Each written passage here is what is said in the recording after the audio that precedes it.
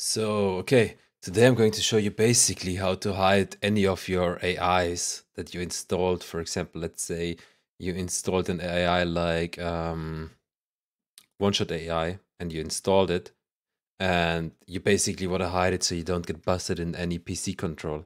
Basically, check out our VIP section, boost the server so you can see the VIP. I'm currently on Better FiveM. You download this.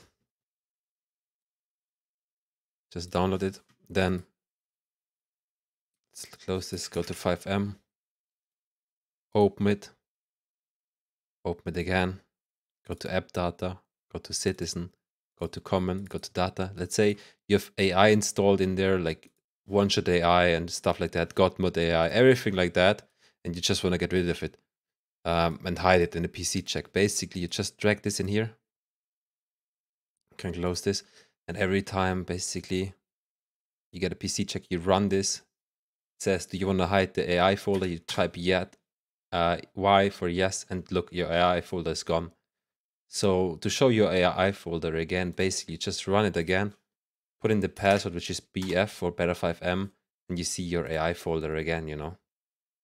Easy peasy. That's how you can escape any PC check. Have a good day.